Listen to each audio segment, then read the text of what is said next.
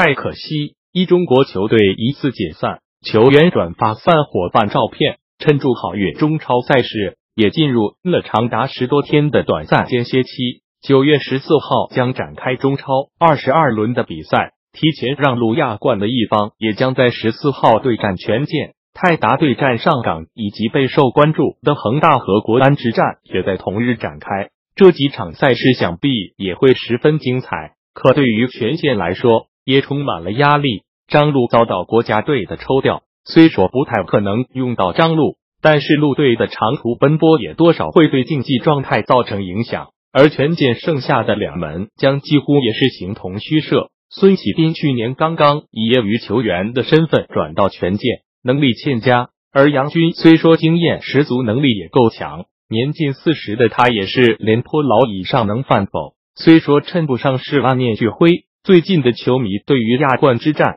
也算是捶胸顿足，欲哭无泪。九月似乎总是充满别离。不久前，媒体曝料中乙球队上海申饭可能面临着解散，随后网上又传出了这支球队散伙饭的照片。发图者佩恩表示了离别的难过心情。随后，中乙名将李长亮也是转发了这张照片，并称祝好运。李长亮作为之前合肥桂冠的队长，可能也是感触颇深。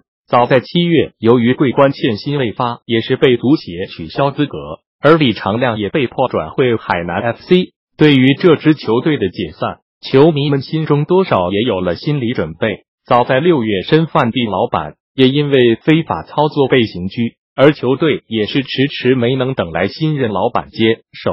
而申饭地老板周亮也是因为之前的申花苏宁事件被球迷所熟知，作为激起申花和苏宁矛盾的始作俑者，周亮公开解说的那句“苏北 X” 也让全国球迷无法忘怀。在国内的中超赛事之中，不同俱乐部的球迷之间玩笑的争执是常有的事情。而周亮的言行也彻底让苏宁和申花战成了对立面。对于双方球迷来说，都不愿意变成今天这样的局面。多数球迷也表示，周亮承担他犯下的错是活该，只是苦了球员。